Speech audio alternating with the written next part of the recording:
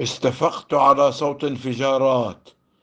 كتبتها في الخامس والعشرين من شهر أكتوبر تشرين أول 2024 استفقت على صوت انفجارات اعتراض الصواريخ في سماء مدينتنا المغار. الحمد لله الكبير حامينا من هول الحرب التي أضحت لا ترحم الصغار والكبار. في غزة عشرات الآلاف من القتلى دون رحمة وفي لبنان يكثر القتل والدمار. وفي بلادنا خطر الصواريخ من لبنان يهدد المباني مع دوي صفارات الإنذار.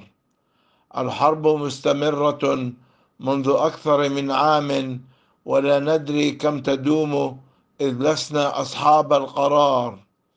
وفي مثل هذه الحال ما لنا إلا أن نرجو من الله القدير العزيز الرحيم الجبار أن يوقف الحرب والقتل في البلاد جنوبا شمالا إنه العظيم العلي الحق الغفار.